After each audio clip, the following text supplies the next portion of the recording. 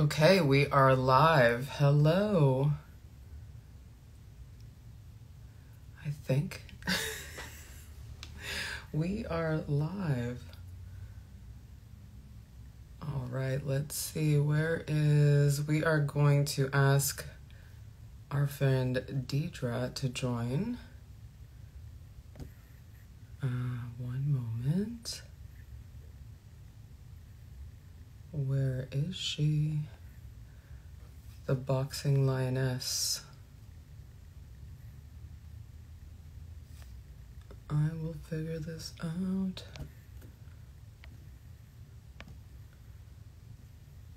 Hi, everyone.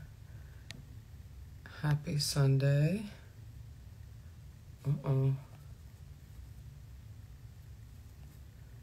Let me keep looking. Bear with me. Hello, hello. There we go. Lena's been doing all of these, so bear with me. I think I've asked her to join. Okay. Hey, everyone. Coach KJM here with Girls Just Wanna Box, and we are going to be talking to. There she is. Hi. Hi, Deedra. How are you? Good. How are you? Good. Listen. Okay. Oh, okay. I just touched too many things. I'm going to stop doing Oh, that. okay. How's your Sunday so far? so far, so good. Productive, I should say. Already? At Yeah. on a Sunday. Okay. I'd like to hear. Yes, ma'am. My week for me, my week starts on a Sunday. So like, like a lot of people use their Sunday to prep, but that prep for me is like the start of a new week already. So You're already starting Monday on Sunday. yeah, Monday is day two of the week for me. Okay, okay. That's a good philosophy to have. Um, Yeah. Okay, I think we need to just jump in. I think we've got a couple people here. Um, I really, really always like to start these as kind of understanding, you know, where your boxing journey started. Um, Mm. We'll we'll kind of take a journey through the world of the boxing lioness and Right. um, how you ended up coming on board being one of our amazing ambassadors. Um, so you. let's let's start with how did you get into boxing? What's your what's your origin story, if you will? So my origin story really is like my dad was super passionate about boxing. He boxed himself. Um, so I was always around boxing before I even knew it was a sport and before I knew it was a sport that other people knew about. So like when well, especially back in the day, like Mm-hmm. Boxing was not as common as it is now. So like if I told people about boxing, like I felt like people just didn't know about the sport in general. So when I when they did know about it, I was like, "Well, you know what boxing is? Like, you know about the sport, especially like kids that I with and stuff."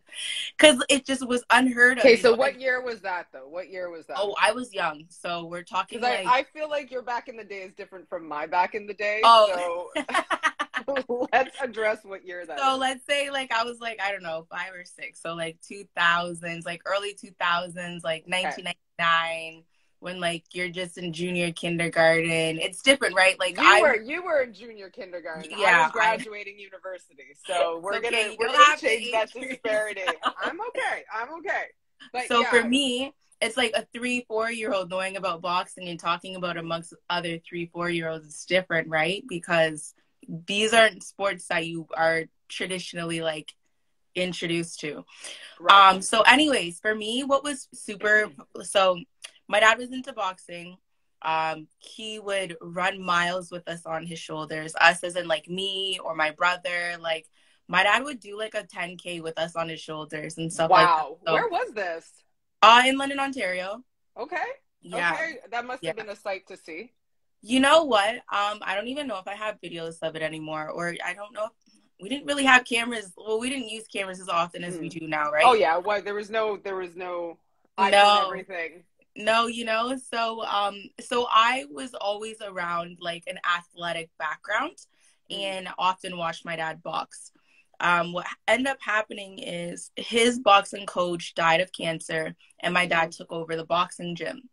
And so my mom helped my dad run the boxing gym for years. And um, I absolutely hated boxing. I thought it was the dumbest sport ever. I was so annoyed because I felt like I was always around it and I was never right. involved. Not that I wanted to be involved either, but like because my parents were running the gym, I would go home. I sorry, I wouldn't even go home from school. We would go straight to the gym, and then we'd sit in the office and do our schoolwork and watch movies and stuff. I thought the gym stank. I thought the boys were weird. I thought it was just gross. Like everything about boxing was gross. And right. as you see, I'm sure everyone now still teases me about like being a super girly boxer because there's just things about boxing I still don't like till this day. Mm. That being said, so eventually, um, uh, well, I always played soccer. Played mm. soccer from when I was like three years old up until I was like 20, 21 ish. And um, I never got to see other competitors other than my dad box. And I used to play soccer all year round, so I would compete um, indoor and outdoor seasons. But there was one season where I had a gap, and they had a Golden Gloves tournament with the OBA in Kitchener. And so my dad was like, "Oh, well, you, this is the first time you get to watch some competition, so you should come and support your fellow and I'm just like, whatever. Right. My fellow, you know, family members in the boxing club that I don't care to be around, you know? Right. Anyways, so I went to the um, show and um, there was some girls fighting. And I think they were only a year or two years older than me. And so they're like eight or nine. Yeah. So okay. uh, they were probably at like that 10. point it was old. Okay. I think okay. it was older. I think you had to be like 10 or 11. So I think they were like 10 or 11 at this point. And um listen, everyone was like, "Oh my god, they're so good." And they were like getting all these this credit. Uh-huh. And I kid you not, in my eyes, before I even knew it was girls boxing, like this is the worst boxing I've ever seen in my life. Like I was so like annoyed and like unimpressed and so when their headgear came off and everything, and I saw it was girls, like I was like, really? So I said to my dad, so I hear everyone like hooping and hawing about these girls that are boxing, and I'm like unimpressed. So I said to my dad, I was like, how old are they? He says, oh, they're a year older than you. I was like, all right, cool, I'll just box next year. Because I, I could do better than that. Yeah, literally. I was just like, I'm an athlete. Even if I've never boxed in my life, I mm-hmm. still feel like I would have beat both of those girls. So that's how I ended up getting into boxing.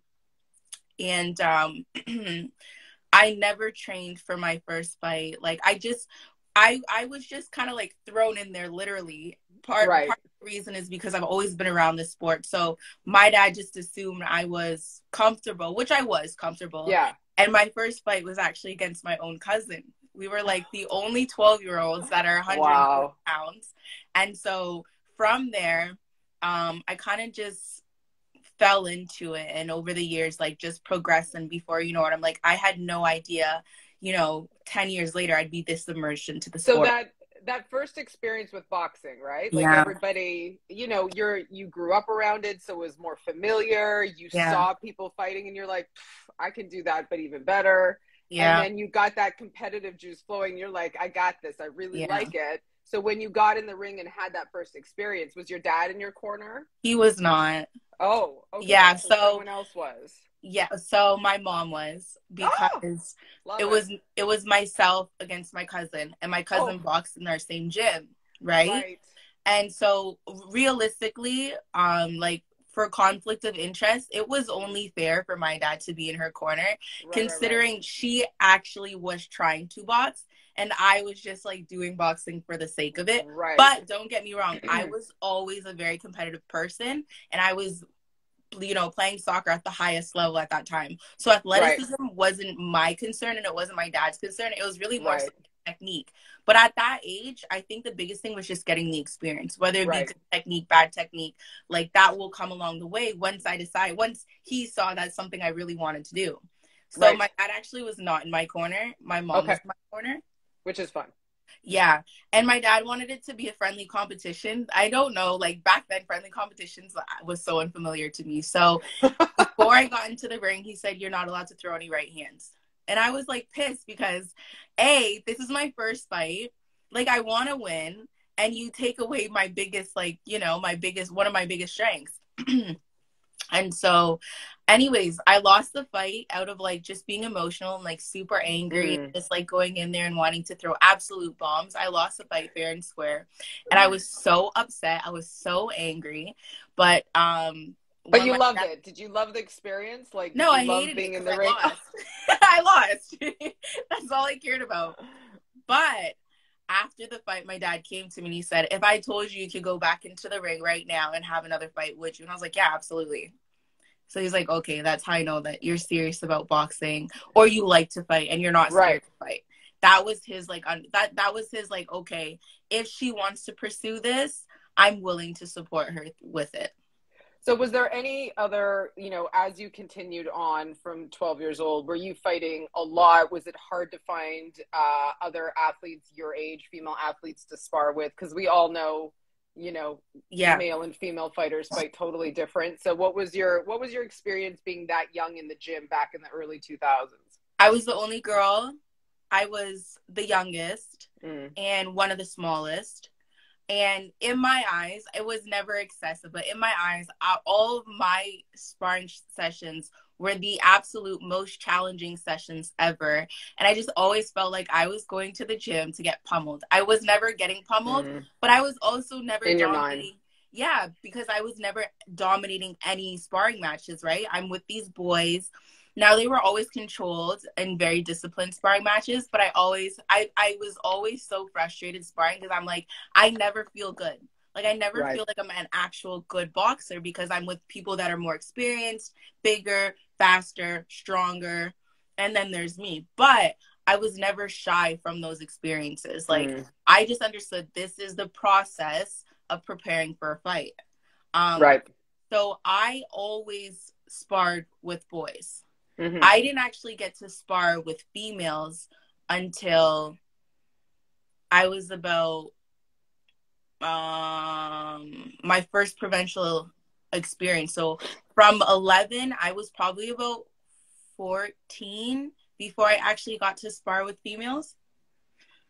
And and do you think, and now looking back, if you had the opportunity, and there and there was like like what we're doing now with the girls just wanna box sparring Sundays, yeah. right? Every Sunday we have a massive group of females from around Ontario, sometimes from Quebec. They all come to the gym, and we all, you know, you get matched up and you get female sparring every yeah. last Sunday of the month.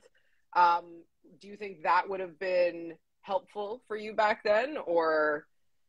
For okay, and here's where it comes very tricky, right? Mm-hmm. It really depends on the person you are and the athlete that you are. For mm-hmm. me, I don't. I wouldn't have done anything differently.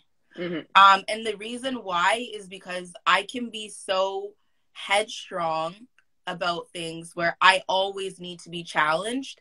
And okay, so here's the difference. Sometimes it's good to spar your own match so that mm-hmm. you're at that level. And if you want to work on certain things, like you have that ability because you don't have somebody that's overly dominating what you're doing.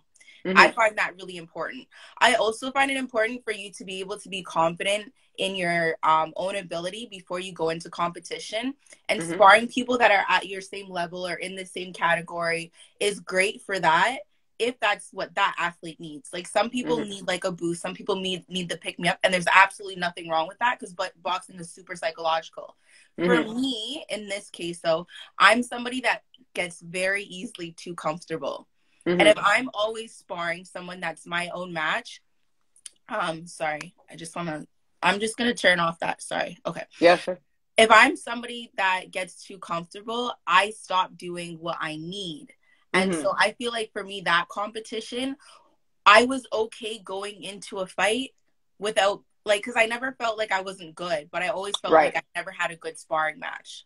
Mm. And so, um, I also know athletes and like even friends of mine where it's like very important for them to be able to be in the ring and practice certain things mm-hmm. before they go into their own competition. So there's right. more like a more even sparring match. Um, right. So I wouldn't have done it differently for me, and I think yep it made it easier for me to be able to work with people that don't have the same amount of experience but mm-hmm. for me to develop that um that discipline so if i'm in with somebody that's not bigger than me or they're mm-hmm. smaller or it's their first experience being on the flip side because that was Mhm. once me. And Yep. so now I'm in, and believe it or not, that's where I learned the most. Yep. Because now the idea is for me to be more skilled than, you know, the stronger, the, or the more, um, like the, the, the, the more aggressive fighter, I guess to say. So was your father always your coach? When did that transition? He was not. So, um, my dad coached me up until I was 17 or 18. Okay. Okay. So how old are you now? I'm 26. You're 26. Yeah. Okay. Yeah.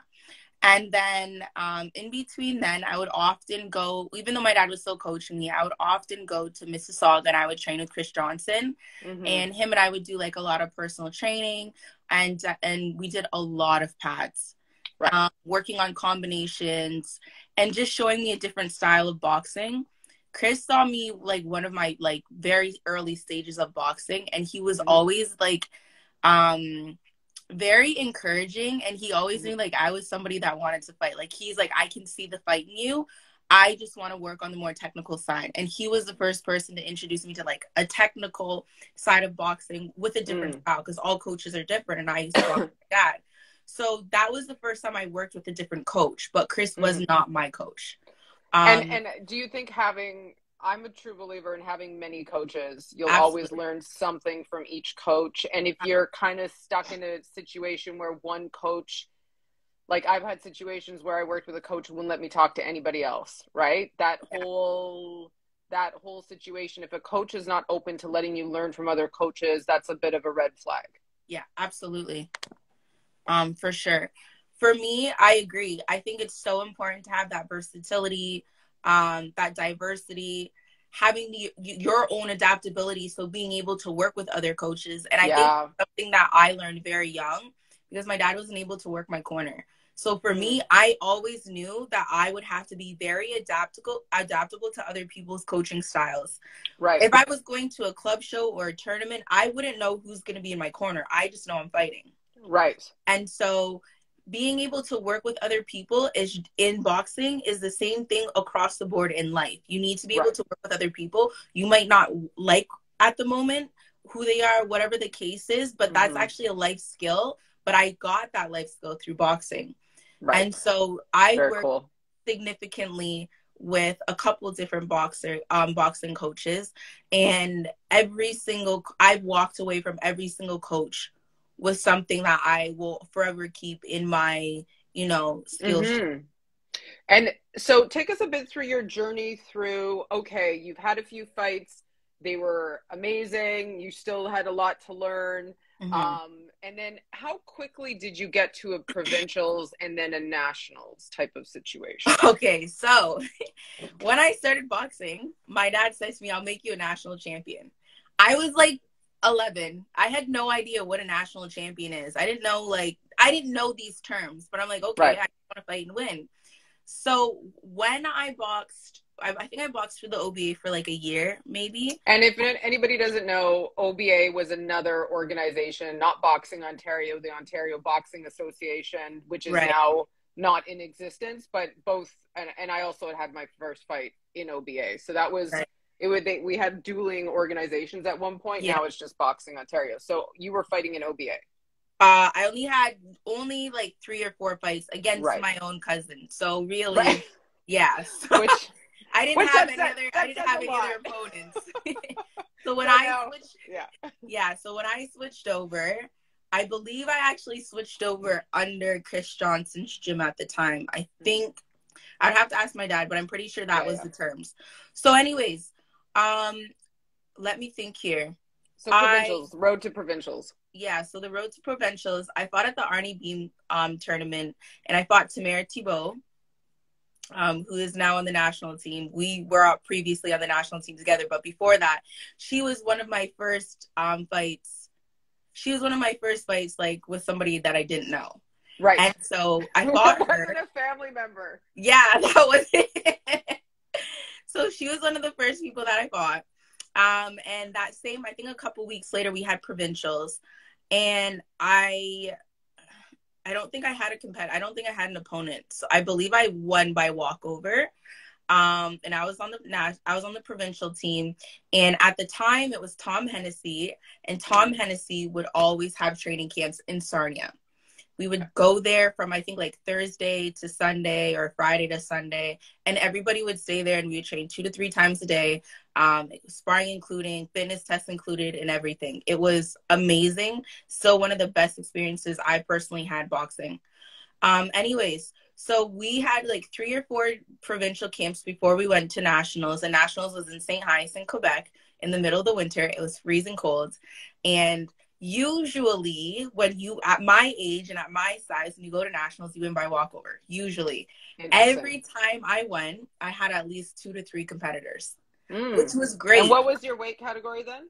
I bought 66 kgs as a junior, um, and I think I switched over to 64 as a youth and what's and that then, in pounds, just so people know if they don't understand kilos? Um, I think Six. 66 is like 145 to 140 mm-hmm. Around yep. that. Yep. Right. And so my first fight was against a girl named Jasmine, and she was um she was from PEI, I believe. okay. So I went in there and I had stage fright. I went, and this is when oh. it used to be a scoring oh. system. Yeah. So this was the first time I was completely out of my own element. I wasn't in Ontario. I was not with any coaches that I typically train with. I think it was Bob Wilcox and Cedric Ben in my corner at the time. So it was provincial coaches. Those were the ones. Yeah. Um. Well. Yeah. Well, Tom Hennessy was the head coach, and I think that they were also coaches there. I don't know if they were actually the provincial coaches, right, but right. all the, there's so many of us that all right. the coaches kind of had to be involved, and it was great. Everybody worked together. There was like it was a co- completely different culture back then. So okay. They're in my corner. They all know I can box. They've all had seen me sparring in the training sessions, and I get in the ring and I don't throw a single punch for like three rounds straight. I used to box four rounds, four one minute rounds. And I kid you not, I did not throw any punches. Wow. I don't know why. I was like, I think it was really just being completely out of my element. Right. So finally, um, the last round comes. I think I was down by like, I don't know. I was probably down by like ten points. I'm you not had to be. Yeah. Like, I was being absolutely schooled, and then I finally started boxing. Like I think it was the last thirty seconds of the fight, and I won. so I end up winning and to be honest it was like i should have i should have like won the fight from long before we got to right but i anyways that was a big learning experience so i won so my dad was like you know he's like what the hell happened until this day i was just like you know what i don't think i woke up until that point that was really right. like the biggest difference so then here comes we're back at nationals i fought and i might in the finals i was fighting tammara what year was this had to have been like 2010. Okay. Yeah, it had to have been okay. about 2010. And so I fought Tammara at Arnie Beam, and then her and I are in the finals again. And we were like two young kids in high school. We had we were beefing. We didn't like each other. like it was, we laugh about it now because we're friends. Yeah. But like before, we didn't like each other. Right. And so we go into the finals, and um, I won the finals and I won my national title. And it, it was extra better because I was beefing this girl and we didn't like each other at the time. So what was so funny is so when I come out of the ring, I won, but I was just happy that I won against the girl that like was talking crap with me. And then my dad goes, "Do you know what this means?" I was like, "No." And he um he's like, "You're a national champion." I was like, "Great." I still didn't know what the hell that meant. Right. So goes, I love this that. means that you're number one in Canada. There's nobody that that has a higher title than you. Yeah. And then that's where it said, and I was like, wow, I'm the best in my own country. And what was great now that I I love is the fact that I didn't win by walkover because I know mm. so many people, especially females, and I don't take it away from them. You can't control yeah. what their opponents are, but Correct. they have like four or five national titles from walkovers. But this I is had... this is this is a good point though that to say, okay, what this is this is why we need more women in the sport and we need not everybody's going to have a dad who's a coach right yeah. and and we've got to get those younger girls in this in the sport from from day one yeah. because if you don't have people to spar with, if you don't have the opponents, then then it's just walkovers. And are you really being tested as an athlete? And what right. is all are the work for? Mm-hmm. Right, Yeah. but it's it is honestly, uh, you know, ten years later, there's there's a lot more women in the sport, but Yeah. we've game's got to so different support now. them. It is very Right. different, and they've you know we've got to figure out the ways to support them and whatnot. So, winning the national title, now you are okay. Wait, I'm a national athlete, so this Yeah. is the thing. Yeah. so, how was your experience as a national athlete? Because I think you won quite a few years in a row, right? Or I did. So I Yeah. have four Canadian national titles as a champion, and then I have one silver medal. So overall, I think I competed at five. Yeah, I competed at five national championships for Canada. Um, So what does that mean? You're now national champion. You didn't know what it meant, but then what did it mean and what was your journey being on the national team? Good and the bad. so what it's supposed to mean is now you Okay. represent your country across the board. Um, I was young, so I think at the time there could have been like world championships, and So you were the youth at the beginning. You were the youth. I was champion? junior, so I won. Junior. Yeah, so I won junior, I think twice. No, I won junior once. I won youth once, and then I won national. This is so bad. I won one uh senior silver, and so no, so yeah, junior. Yeah, I have one senior national championship, Okay. two youths, and a junior. So as a youth athlete, Yeah, what what was that experience? I didn't have an experience as a youth athlete on the Canadian national team. We What does that mean? We didn't do anything. So what it's supposed to mean when you win is that you represent Mm. your country, you train with the national team and there was nothing instilled for me or anyone that was competing at that time. Um the boys is different, but for the girls, um I didn't go to any championship uh sorry, any competitions locally or even internationally as a or a junior. Um, I think there was only one opportunity for me to go as a youth, um, and that was a training camp that was going to happen in the U.S. I didn't end up going um, because I had some family issues at the time. Um, somebody very close to us had passed away, so that I I missed that opportunity due to that. Um, and then So three years as a you know junior youth athlete, you had one opportunity for a boxing training camp, and what was so what was the point? What was the rest of the time? It was just to say you were the champion, and not there was no development of you as a youth female athlete.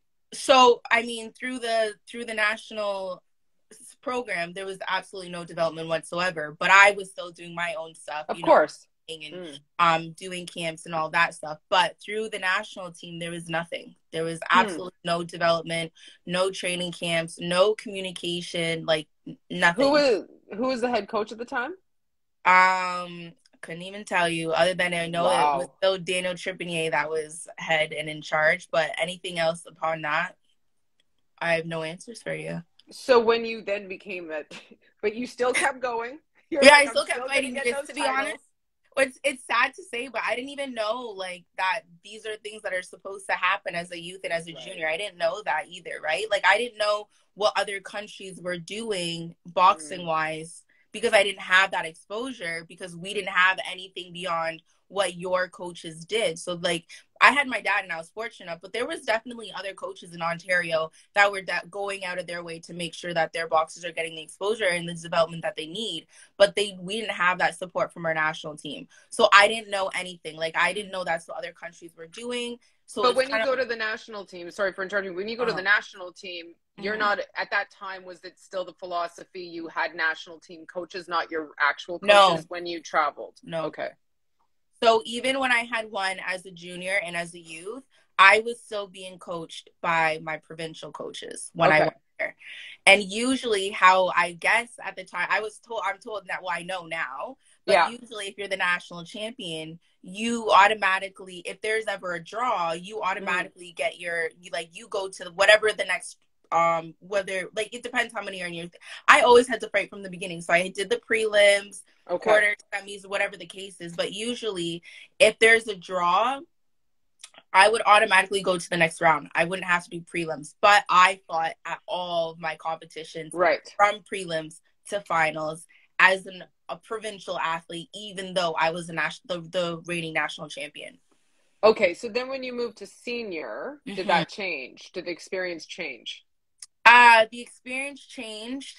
Um, we at the time they still were not actually doing anything to monitor your progress. What what year was this now? We're in the early So in like 20, 20 2016. Okay, so now we're all the way in 2016 into Right. senior national champion. Okay. And now Yeah. we're where did the Olympics fall into play with any of this?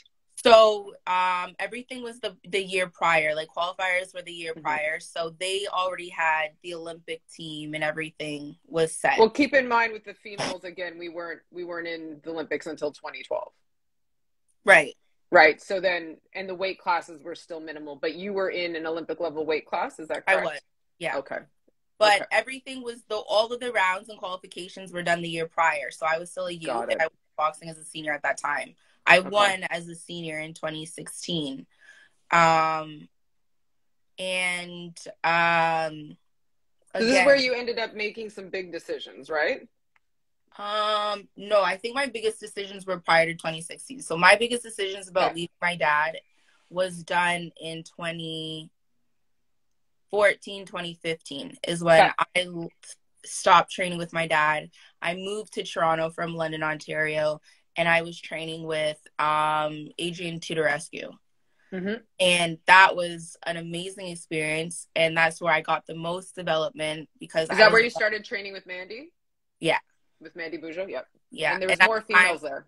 Right. So that was 2015 because at the time she had the Pan Am Games.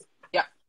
Um. So just the experience and being with females at my level was completely career changing. I got the Yeah. best development. At the time, we had the best females across the board in one gym. Mhm. Um, and Adrian did really well to focus on his high performance athletes and really developed every single one of us. And we were sparring consistently. And I think it was the consistency with the sparring and Yeah. the level of competition amongst yourselves, Mhm. um, among amongst us that was like great for every single female that was in the gym. And I and again, that's kind of you know going back to us having the every Sunday female sparring is it's for all levels. Yeah. So whether you've never gotten in the ring to spar, whether you just want to go and watch, maybe network, meet some people, or it's your high level, potentially you know, uh, you know, national level, you've had more than fifty to hundred fights. Like Mhm. that's the great part about having all those women at the gym from all Most- different gyms, right? it's not just our gym. No, absolutely. And I think what's even great about that is like, believe it or not, you learn the most when you work with somebody that knows less than you, in my opinion. The reason Mm. why is because you now have to be the smarter person. You now have the time to, you know, focus on things that you sometimes will overlook when you're in with there with somebody that's higher at a higher So level. you're saying you're saying being a higher level athlete and then working with the lower level athletes to push them, but again work on something else. Mhm. Is that what you mean? Oh, okay. Yeah. Uh, yeah, It's- that's a good point. it's a great way to develop your own skill with on like under lower lower pressure and lower intensity. That's I a just great like- point. I just feel like I've always found myself to be more um focused when I do that. That's a great idea because I think a lot of, you know, some of the female athletes that maybe are super, super high level don't always think about that. And that's also a way to give back. Right? It's a way to give back. Yeah. Absolutely. And for me, it's when I'm the most disciplined. The last thing I want to do as a high performance athlete, getting in there with somebody who's probably their first time in the gym, just wanting to learn about the sport, is deter them Mhm. by pummeling them, over dominating them, Yeah. losing my temper, being undisciplined. I want people to know that you can have friendly sparring sh- sessions. For sure. Or not, boxing is actually one of the most friendly sports ever. It's more friendly than soccer. It's more friendly than hockey. I'm telling you. It's true. I, I'd say it's even more friendly than figure skating because back in the Yeah, day, those, yeah. those figure skaters, I they were they were aggressive. exactly. and so the last thing that I want to do is deter another woman from getting into my sport because uh of being a bully, intimidation, physical intimidation, meant like none of that. I want to. Int- Right. I want women in our sport. You know what I mean? Right. And so for me to be disciplined, okay, I can still get punched, you know, like you're not going to shower without getting wet. So even if you're in there with True. the novice and they catch you, you're like, okay, what's going on? You're already on that alert because you don't want to look bad either, right? Yeah. so and I and I think it's really interesting what we've we've been doing this. I I can't even remember. We've been doing this for like four or five months now. Mm-hmm. Even once we were able to get back in the ring again, having female coaches there, having other male yeah. coaches, and just getting used to that environment so that yeah. when you go into an actual fight, it's not like like like how you said when you finally traveled and went somewhere else and you were just like what is going on? Oh helene said yeah. since april. To clarify we've been doing this monthly since april. I have only ever had one female coach in my corner. Okay. And over my years i've never actually trained with a female coach. Right. And when i would travel that was the biggest thing. Like i always thought to myself it would be so nice to have a woman that understands the sport but understands what I'm going through as a female athlete as well. Right. And it was almost like you would see other countries with female coaches and you would be like that's exactly what I need. Jealous. It's a different it's it's a different relationship, you know what it I mean? It's a yeah. different comfort zone. Um and so now to see that, I'm happy for everyone else behind me because I always used again to being the only girl. Even when we would travel, we didn't have female coaches. Right, and, and luckily that's changing. That's mm-hmm. something mm-hmm. that we're trying to encourage. And you got into coaching a little bit yourself now. Um, um I got into coaching very young. I actually yeah. did my my um certifications at like I think I was 15 or 16. It was Adrian that was my the doing the courses at the time. Right. So I right. got certified up to level 2 coaching. Um, and my dad would have me do the kids classes and the intro to boxing. And we would actually go on to the reserves here in London and we would do um, boxing camp, after school boxing camp for the kids out there. That's amazing. Mm-hmm. So, so I, you know, I have this, not, not that I have this argument, but like over the years of, you know, the past decade of really focusing on all female classes and development, I sometimes would even get pushback from the female fighters being saying, and I get this from male coaches. I'd love to name them, but I won't. That say that say I, I was at a camp and I said, well, you know, what's your development stage? Why don't you have an all female class? Or oh, we don't. They don't want that. Women don't want all female classes. You know, they can they can join with the boys, and I'm like, no, they can join with the boys, but a lot of it's a different vibe. It's a different energy, and we can it can be a different, a lot more inviting, right? As an mm-hmm. all female class. And at the end of the day, we're fighting females. So for the way our development works is that you're all female until you're at the competitive level. Then you're a co-ed team and then the team mm-hmm. is co-ed because it's a little bit of a backwards thinking where not I think it's not backwards, but the old school way is guys and girls, guys and girls. Oh, and now you're an all female thing. Well, that I don't I don't know if that is the way to go. Um, that's actually a tricky one. I can give you, I can, so I'm somebody that I can look at both perspectives. Yeah. And I think, again, the biggest thing, I don't think there's ever a, a right or wrong way of doing something, but mm. one thing will work good for one person and not the other. Yep. I think doing it where it's all females up until you're competing and then it's co-ed i i feel like that could be a shock to some people because it's a for, different environment that you're not familiar with so, and, but but but you're never fighting the men. Right? No, no, no, no, no. You're never fighting the men, but you're amongst them. So it's like a different like. Um, so, so to clarify on that, I'm not saying that you're only in an all women's gym and there's never men around because there's always going to be male coaches, right? right? There's always going to be other male fighters. Yeah. Right. That's around in that environment. Right. But once you get, once you're both a, you know, a female uh, competitive out of the beginning levels, right? Yeah. over 10 fights you should you're at the same level. So you can spar together and it's an, a little bit of a more even playing ground than having even two first beginners right? Because nobody's always able to control themselves.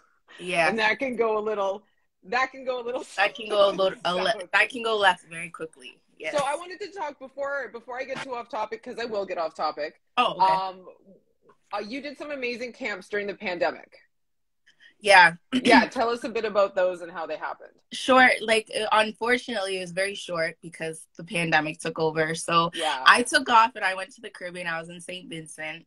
I stayed amongst three islands primarily. So say it's st vincent and the grenadines. St vincent is the mainland and then it has about 32 um, islands grenadine islands. And so I was in Bequia, Canouan, and Union Island. Those are three very small islands. I think none of them are bigger than like five square miles wide. They're very small islands. And um, so these islands are very small. A lot of the time, like the people living on certain islands, so Canouan is one, for example. Um, people, if you're living on the island as a local, you're usually just there to work. They have a resort. And so if they're there, they're most likely just working on the resort, working other jobs. So a lot of the times the kids go to school, they come home and they're really taking care of themselves and looking after themselves because there's nothing else to do. Interesting. Um, so my friend who's a local, well, she's not a local, but her family is local there. Um, she started doing like after school programs. So she would bring the kids and they would do school and the idea was to give the kids something to do, show them structure, show them that um like there's more to look forward to in life. Mhm. Um, so we involved school, we involved boxing, um, exercise, and like really just anything. But obviously for me, like that's my niche and that's what I'm I'm good at. And so we incorporated that. And it was lovely. Like it was so nice because otherwise what the kids do is they just go to the beach, which is there's nothing wrong with that. But some kids they don't always want to be in the water, you know what I mean? Some kids don't know how to swim, but a lot of them do out there. But and like just like anywhere in the world, you become normalized to what you have.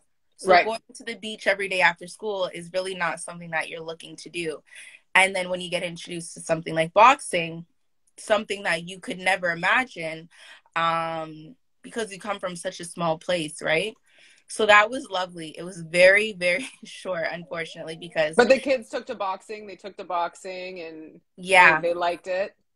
Yeah, they took yeah because it was some introduced like like like I said, these are small islands. Some of these kids have never even been to the mainland. Wow. Um, some of them don't have TVs. They don't have, you know, phones and the technology that we have to have access to other parts of the world. And some of them like to fight. So it's, you know, it, it what I liked is that the culture is different. You know, here you can bring kids into a gym and they're actually scared to punch each other. They're scared Right. to fight, and, you know. So you go out there and like these kids want to fight, but it's good to have it in a controlled environment. And I noticed like for me, I've always gravitated to like the more troubled troubled some kids, I will say, is what, you know, people would perceive them as, but as you get to know them, they're really just misunderstood.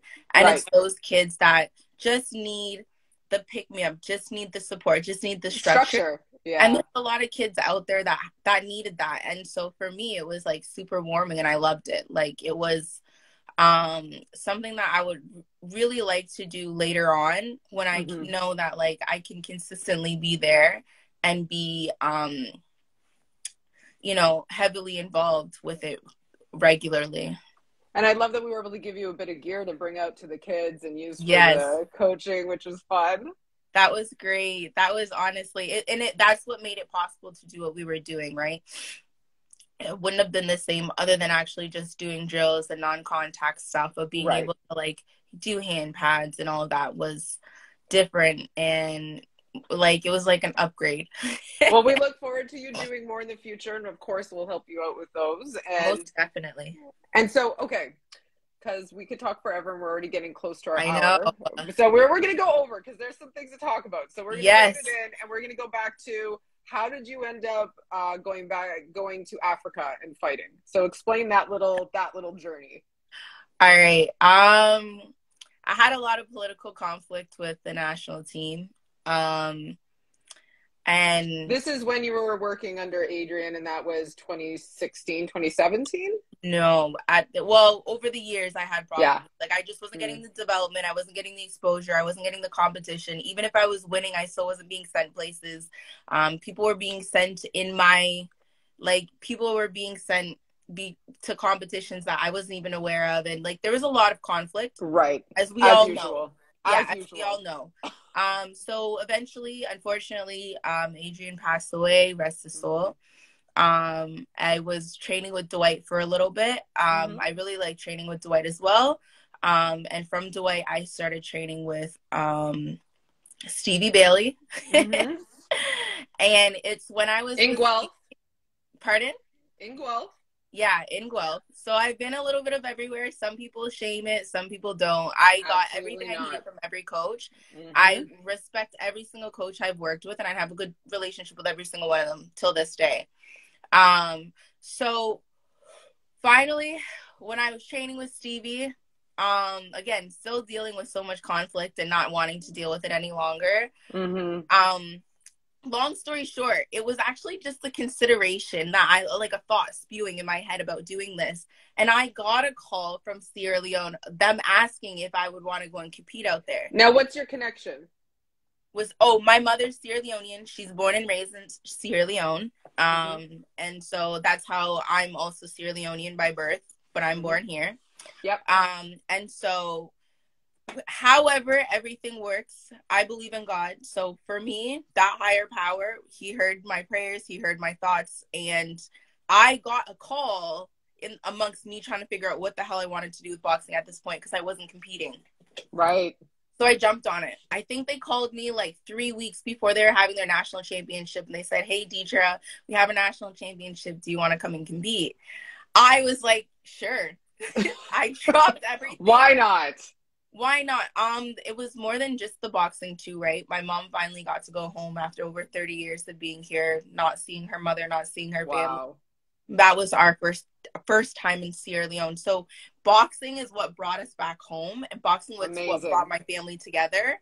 And um, I was able to to do like great things. I'm the first female to ever represent Sierra Leone across the world. And that Um, and that title is what? The Sierra La- the Sierra Leone national champion. So the first ever fe- like Sierra Female ever. national champion and the first to represent Sierra Leone across any international competition. They'd never had a national boxer before me. A national female boxer or national boxer? national female boxer. They did have Okay. males. Um, Okay. and like very similar to me, there was one in particular. I forget his name, and I should know his name. Um, but he was Sierra Leone. He is Sierra Leonean, born in Italy, and he represented Sierra Leone um, at an Olympic competition. I believe Okay. it was 2012. Wow. Mm-hmm. So so now we also we didn't touch on this, but you also had some injuries, right?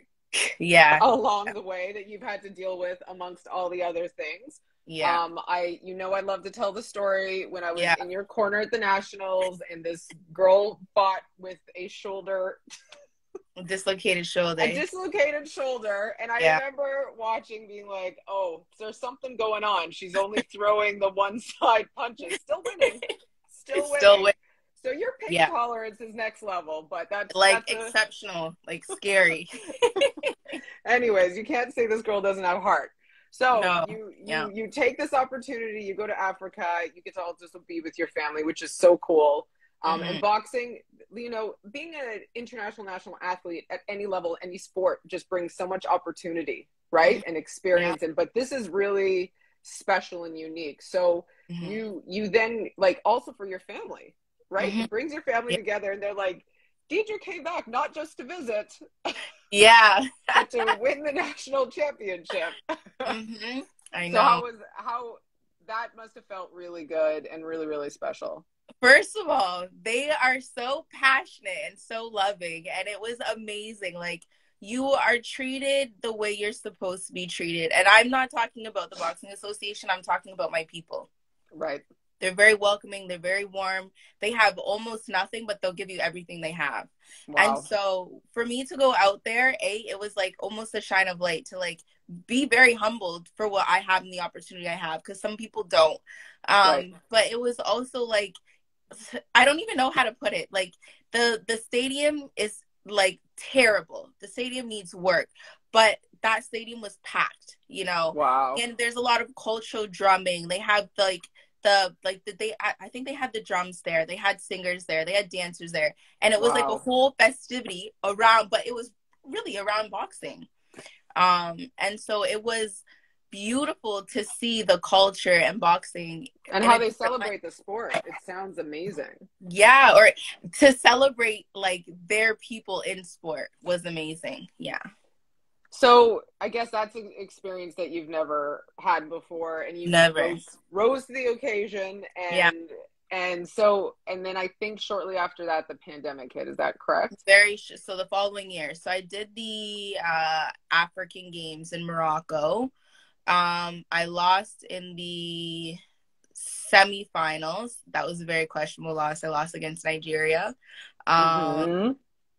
But that's it's okay. Like, but what an experience! The African Games. What an experience, right? Can I tell you something? So I yes. did not know that. I did not know that a lot of Sierra Leoneans actually go to Morocco as refugees. So okay. I'm going to Morocco thinking I'm just going with my boxing association and nobody else they got word on the street that they had some Sierra Leonean boxers there. And when I was there at the semi, I'm still I'm getting goosebumps right now. When I was there at the Sierra Leone Boxing Association, I'm like, man, we're against Nigeria. Anywhere you go, Nigeria is one of the biggest teams. Um, so we get there and I see like, you know, one person with the Sierra Leonean jersey and then one other. And I when it's time for me to walk in to the stadium, I go in and the entire stadium on my left side is Sierra Leoneans. Wow. They had the flags. I just got chills. Had, yeah. And I was like, so like that was probably the biggest, the the busiest stadium I was gonna be in. So I'm like, wow. man, now this. I was like, for me, like this is like hat on, be as focused, high alert as you can be, because right. you're gonna hear the Nigerians. that was the biggest thing. You're gonna hear them and you're gonna see them. But when I walked out and I saw my people, it was like the most like uplifting experience I've had. And it, you know what? That's probably comparable to the Olympics, right? Oh, like absolutely. that experience, if not even if not better. Probably better because I probably wouldn't have a big um, Sierra Leone community at the Olympics like I did in Morocco. So that was like amazing. There was easily over a hundred of them in that stadium, easily so that's that's amazing that's a super yeah. high to continue what you thought you were going to continue and then yeah. the pandemic right yeah and then the pandemic hit um and it hit a week i think like two two weeks officially is when it really affected boxing um so i yeah. did the olympic qualifiers for 2020 right um i was not supposed to be there but i took a risk that i don't regret taking um, mm. because I that that was I was only like 30 days post op from my shoulder reconstruction that I had. So my surgeon actually did not be okay to go out there. Right. But I I said to him, right, because I had a plate put in, not a plate, sorry, but I had screws and pins put in. I said, if I go out there and I do anything, I know my muscles are weak and I don't have the strength to throw punches, but will I damage the hardware that's in my shoulder? Right. no, that's not my concern. So in my head, I said, well, that's that was my concern. So as, yeah. as long as I'm not going to cause more damage, you know, I was going out there on a on a risk, you know, hoping depending on how the draw went, if anything went in my favor. Unfortunately, it didn't and I was ready to be fully rehabilitated for the World Championships, and mm-hmm. that got that got canceled, and then that's when COVID took over. Right. So let's just like a sideline for a second about this injury. When did this start? The shoulder injury, because I always kind of remember you having the shoulder issue, right? But but yeah, when did it start? So I first subluxed, so separated my shoulder probably in like 2013 2014. Mm-hmm. So from 2014 up until 2020, sorry, up until 2019, yeah, I was always boxing with a bum shoulder. I just I didn't even know what it meant. I didn't know what it was like to box with a normal shoulder. With a healthy shoulder. Okay. So, yeah. and I know you had a couple fights where you fought with your shoulder out. So Completely dislocated. Other... Yeah. That's the whole thing. But now now how is the shoulder and how is it like the, did the pandemic give your shoulder time to heal it did mm-hmm. um it did i had another shoulder injury post-op post rehabilitation mm. shattered my collarbone oh that was I an accident right that was an accident yeah that was a car um, no car accident or a motorcycle accident? accident yeah but in the mid that was at the beginning of the pandemic as well so my shoulder yeah. is my shoulder is solid. you have a bionic shoulder now. You have a bionic shoulder. Yeah, what it, I have a bionic shoulder and I have a bionic knee because I have a plate in my knee as well because I had to do reconstruction on my knee. Um, but before that second injury, my shoulder was great. Like um, I had gone back into the gym, I was fully sparring and stuff like that, and it was amazing. And Stevie was like, I he's like, I've never that that was a punch that we could never ever get was my left hook. I never had the strength that I needed behind it because I never had the right. stability in my shoulder. So right. post op, like I, I was like amazed at what difference it made, but you wow. don't know you don't know, right? I never knew what it was like to have a healthy shoulder. I Helene's just, asking, sorry, Helene's asking if it was a left or right shoulder left that was left. So and you're yeah. and you're orthodox fighter, right? Or you southpaw? I'm an orthodox fighter. Okay, yeah. so your jab hand was so I can jab solid, right? Because your jab is inside. My issue was anything that was like outside of the median. So if I was Got jabbing, it. I always had a solid jab. Okay. Um, it did start to weaken where if I was jabbing, if somebody punched my arm, my shoulder would go out. People didn't know that, so now I can say it because now you can say it. Ooh. Yeah, it's not an issue, but like I, there, there was points where like I was just like making contact with somebody else's arm and my shoulder would go out. But yeah. I always had a strong jab. My issue was any rotation. What's that the name of the surgery that you got? What was the name? So the, the first surgery was the ladder a Latarjet procedure. So okay. what happens is I dislocated my shoulder so much that I had lost almost like thirty to forty percent of the socket. Wow. So what they do is they basically form like a bumper to mm-hmm. to replace the bone that was missing, and it's called the Latarjet procedure. That's the first procedure that I had, and okay. then the second one was um like a clavicle reconstruction. From the accident. Okay. That's so, yeah. So so now we're amazing career so far, amazing opportunities. Yeah. High pain threshold. Very high, yeah. Pandemic I don't like pain meds. Here, but you're okay that again? It. I said now, and then you get through the pandemic, had some time to kind of rest and recover, and then you had a huge opportunity fall in your lap. So we're going to talk about that because you can. Yeah, I can absolutely. Okay, so yeah, yeah. tell us about the opportunity to be involved with the Claressa Shields movie that was that was filmed in Toronto.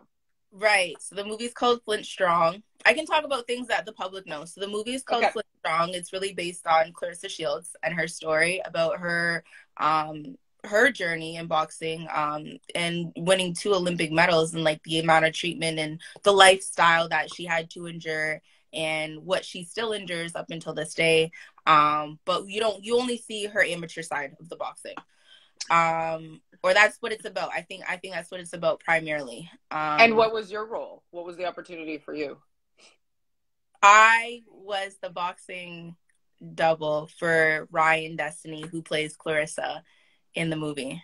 And that's amazing. Like, what a huge opportunity and so much fun. And you know can you talk about a little bit you know so this is an interesting thing to talk about like what are the opportunities for women in the sport of boxing? What are some transition opportunities? Because you got to the highest of the highest ranks won the titles been on the national had that experience and then to have you know you're trying to figure out what did you want to do next and then this amazing opportunity came up and now now you're on a set now you're in a movie set now you're a boxing stunt coordinator you're you're trying all these amazing things. Like how was how did that differ? And i know there's big differences from being on set to being in the ring. So what was the hardest thing for you transitioning from a real fight situation to a stunt fight situation?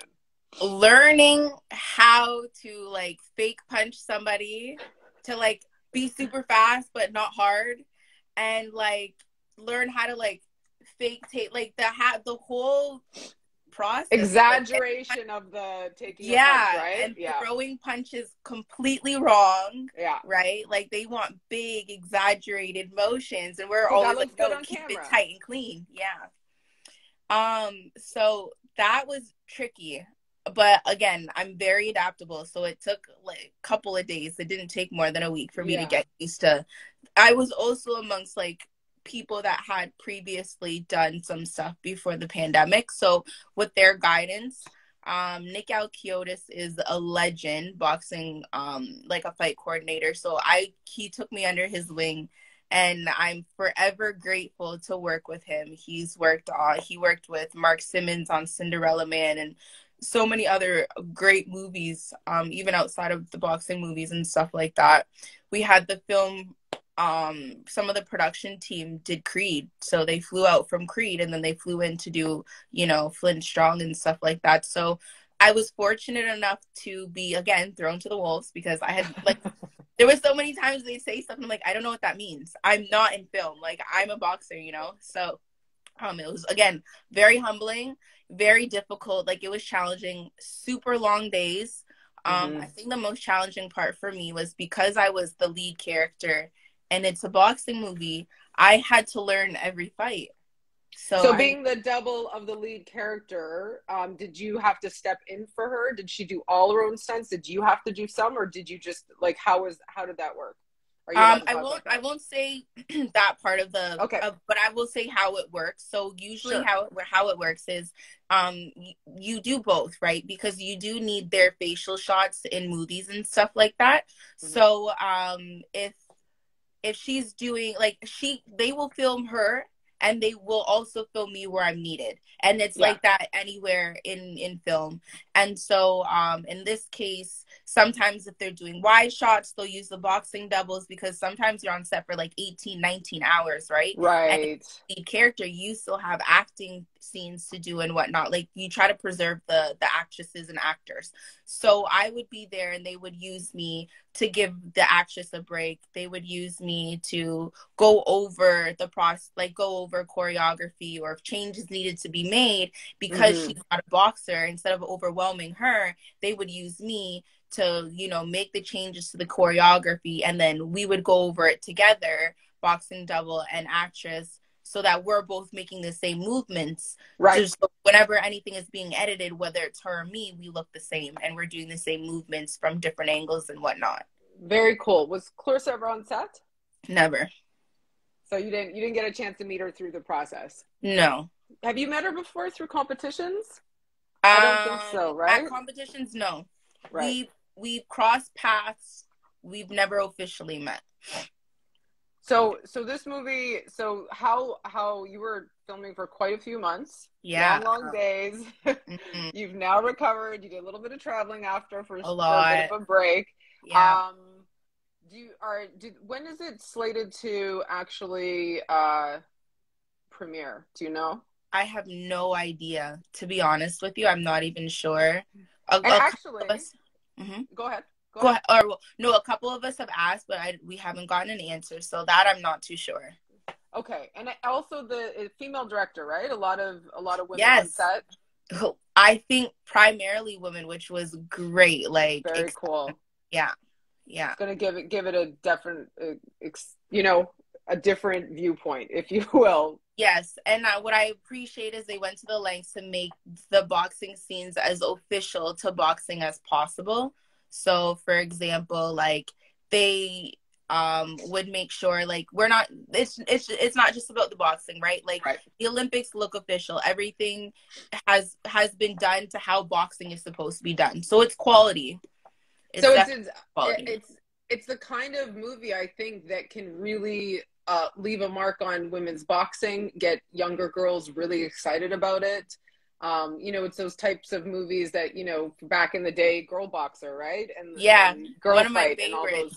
Yeah, yeah, Girlfight. Um, one of my that's actually one of my favorite movies. And the stunt coordinating assistant, she told me that I don't know um what her role was in Girlfight, but that was the first movie that she did her. Very cool. Her stunt career on, so that was super cool too. So, yeah. has this kicked off your stunt career now? Is that going to be part of where where you start going with with boxing. Tell us what's next for apparently lioness. apparently so. Um, I did another TV episode for a series. I'm not gonna say because I'm not sure if I'm allowed okay. to. So keep it like that. But it was super cool. Um, and then in this scene, it was a fight scene, but not a boxing fight scene. So really, I'm like stabbing people and strangling people and hitting people, and I'm just like, le- I didn't know this up. stuff was all this fake, but I mean, it gets yeah. edited really well. And so I what I did have another stunt job before the end of summer on a TV episode, um, in a fight. And again, was I actually Canadian or American show. Uh, I think it might be American. Hmm. I think it might be American. And um, again, I was doubling the lead character on that show as well. So that was super cool. That's very cool. So, do you have an agent now? There's no agents in stunts. And it's funny because all the sudden people like they're like don't get scammed and don't get yourself an agent because there is an agents in in stunts. And mm. so a mm. lot of the time stunts is by who you know, um, right? Previous experience, and so is, think, is that the advice like for for fellow boxers who are looking to female boxers? Because I think it's a very unique opportunity. I mean, to to get into stunts. When I was younger, I did some uh, stunt courses, and it's it's a lot of fun. It's a lot of fun. Yeah. Um, I'm still so new to it. I'm not ready to give anybody like like, give I yourself advice. I yeah, because I'm still trying to get my own advice right. I mean, I'm still trying to figure it out along the way. Um, but I think, I mean, social media is probably your best bet if I'm being very mm-hmm. honest with you. Um, but one thing I will say, and this comes from like, I'm sorry, stunt legends. There, they just say there is no agents in mm. In stunts. So very if somebody comes to you and they tell you that they're gonna be your agent, that really is your choice and at your own expense. But um, they don't. They like a lot of the time the they when they are hiring stunt performers, they choose not to even communicate with the agency either, and they want to communicate right. directly with the stunt performer. Directly with the stunt person. Okay, so that's super exciting. You're going to keep going with that. Um, what's next in the boxing world? Have you thought it through? I know, you know, we're trying to get you to do some coaching with us and start yeah. working with us on the coaching side, and you know, mm-hmm. you're a fantastic ambassador for Girls Just Wanna Box. But Thank you, know, you. What What are you looking to do next in the boxing world? Is pro on the horizon? I know that's what a lot of people were asking. Yeah, it's definitely something that I've been considering over the years, even before I actually went out to box for Sierra Leone as well. Um, right. I think right now, I like in this very moment, I just I just want to get finished school. I know I'm still young. In a what are you taking in school? Nursing and I'm in my final year of nursing right now. So I really only have like six months left of studying. So my focus right now is A, just staying active, but not training like a boxer. When the pandemic happened, I was training like I was still a boxer and I completely burnt myself out. Right. Um, so I'm trying to remove myself from that comp- like remove that competitive hat for right, right. now. And that's actually my biggest challenge. Like it's so mm-hmm. hard to yep. just like enjoy a workout for the sake of it for your wellness and your well-being and your mental health and like what other people can do i really struggle to do because i'm like no like i'm competition by the books and that's how i've always exercised right, right? um but it's very it's it, that in itself is not always a healthy lifestyle and Correct. so that is what i'm working on right now is just being able to enjoy exercise, mm-hmm. be active, and and still have balance in my life, especially that I'm in school right now. Yep. Um, whatever I do decide, it will probably be like spring of next year.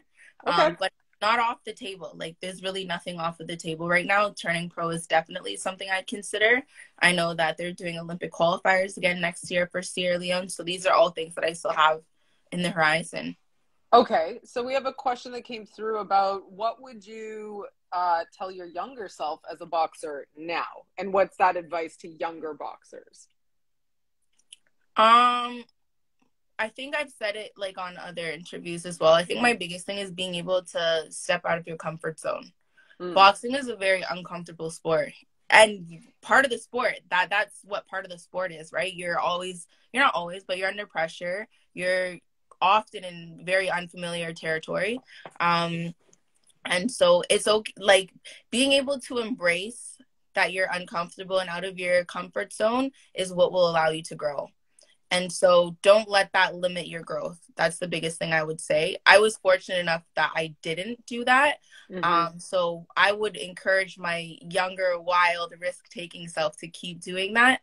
Um, because I know so many people that limited themselves just because they didn't want to leave their coach or they didn't want to leave their gym or they didn't want to travel or they didn't know what the outcome was. And there's right. so many risks I took and I had no idea what the outcome was, but I didn't care because right. I knew whatever at the end of the day, win or lose, I'm taking away a lesson from that experience. For sure, for sure. So, I mean, I I can talk to you forever, but we're gonna have to wrap this. Up. No, that's okay. Point. Yeah. Um, aside from you know having advice to younger boxers, male or female, and and moving forward, what do you see? What do you wish for the future of women's boxing? Right? Um, like, what like do you want there to be three minute rounds? Do you want? Oh, absolutely. Okay, so you're on you're on the side of three minute rounds. Give us a quick a quick reason why. Uh, I'm on the side of three minute rounds because I feel like within like a minute and a half, you're just like warming up. You're right? just warmed up. Yep. Personally, everyone's true. different. I mean, if you're a very active boxer and you like you're go go go and like your strength is like your activity and your output, that's mm-hmm. different. Mm-hmm. You don't want a three three minute round. But if you're somebody that likes to try new things, you know, it's a very like it's a huge mind game. And if you want to be able to study your opponent so that you can, you know, try your own tactics right. throughout that, I I believe that the three minutes is necessary. In 2 mm-hmm. minutes, you don't have enough time to study your opponent. In female boxing, the benefit had always been that you're fighting the same person over and over again. You don't need that three minutes to study. Right. The sport has grown immensely. You can yeah. go to competition and see people that you've never seen before. You need those three minutes to study your opponent, make the adjustments throughout the round. Whereas when we're fighting, you know, two minutes, I'm like, I'm I'm I'm just getting started. You know what I mean? And so the argument the argument is that it's safer for women to do two minutes. How do you feel about that? It only takes one punch, and that's in a millisecond for something to go completely left. So 2 minutes mm-hmm. to three minutes, I don't think that's even an argument. Boxing is is is is a is a is practiced safely, but it's a mm-hmm. high risk sport. So Correct. whether it's two minutes or three minutes, you're in the ring, same as the men, doing the same exact thing across mm-hmm. the board. And we all know the game can change in a split second. So Correct. you can't tell me that you're raising the risk for three minutes when you have amateurs fighting three minutes. Correct. and that's right. Yeah. So yeah. I, yeah. I can't even I can't even entertain that argument because anybody with sense would make the comparison and amateur is supposed to be safer than pros, right? So Correct. if that's the case, if they can do it three minutes as an amateur, you should be able to do it three minutes as a pro. So so we have a question from uh, Bettina and she's asking, you know, when you were in that, how did you become comfortable being uncomfortable? you know is that just your personality? Like are you okay yeah. yeah. I'll be honest part of that is my personality but believe it or not reading was what enlightened me to be aware of myself in uncomfortable situations. So understanding the mental side of your game by you know understanding um, the mental side of the sport. Is that is that what you're saying there Oh no, I used to read like a lot of self development books, like or spiritual yeah. development books or whichever, like both really. Understanding yourself. Like yeah. So I learned that it's like as if you can understand yourself, you can understand others, and so reading is what allowed is what opened my eyes to awareness because mm-hmm. I it is my personality to be able to step into like very uncomfortable situations. I don't shy away from them, mm-hmm. but um you know, getting knowledge outside of the sport is what made it easier for me to be like, okay, if I'm in this uncomfortable situation, what are things that I should look for in myself? What are things I should look for in the room? What are things that I should look for in that whole situation and look at the big picture? And so, really reading, um, and it doesn't have to be reading anymore. I mean, there's so many podcasts, there's so many like right.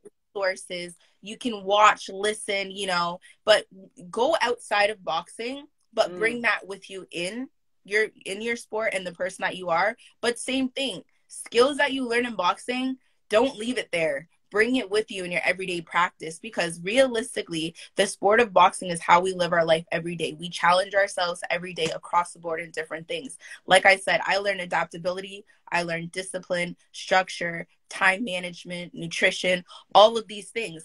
I can't live my life without these things. Right. You know what I mean? These are my everyday things, but that's where my foundation came from. And so the same thing, me being able to read and do research and learn about people, that was something I was passionate about, was something that I brought into the sport of boxing. And that's when I was able to learn emotional quotient, EQ, that's when I excelled in being able to seek opportunities and grow in uncomfortable situations. And I, I think boxing can teach women so much about themselves, their bodies, their their mental states, their you know, it can help them feel so empowered and really feel good about themselves in their body that they can then bring that confidence into any other real life situation, correct? Absolutely. Most definitely. Absolutely. So so we're gonna kind of roll this into um, kind of the end of the conversation. Any more questions? Any more questions? Yeah, there's Um, any we- questions. Thank you to everyone for who tuned in. Like so many people tuned in. That's amazing. And we're gonna we're gonna um, kind of edit it and repost it so people can watch it and be inspired by you, Deedra, and your journey and your resolve. And we love having you on our ambassador team. Thank you. Um, and okay, so this is totally out of the the gear that you've used from Girls Just Wanna Box. How important do you think it is to have boxing gear that fit women properly? Oh, absolutely. Like absolutely. Last Um, question. no, I think it's so important. First of all, I okay, so I'm a girly girl. Like I like colors and stuff like that. Not every and actually even guys do. Guys like pink, Yeah. I like purple, like you know what I mean? And so it's fun to have that. Um, but I think it's also very important to have things that fit you correctly. Um, I'll use this as an example. I know that that's not a focus for us, but like a lot of the times back in the day, in 2000, early 2000s, you yeah, know, they we would have male cups oftentimes don't get me um, started. you know so these are things where it's just like i'm not gonna lie so the girls a lot which is bad Yeah. sorry off off the top I'll like you know but Yeah. we would lie about wearing cups because they were so uncomfortable and they were so limiting and like if they what was wanted the us to wear pocket for? What was the pocket for? there's Snacks? like, I, what was the pocket for? I don't understand. you know actually funny enough though adrian would used to drop our mouthpieces in our tops um like he would just open it and drop it like after the fight and whatnot and i saw somebody do that in their cup one day i thought i was like i mean i know that we're not filling in that pocket yeah, yeah, yeah. but it's close enough to areas you don't really want your mouthpiece to go to um so that is my biggest example um, right.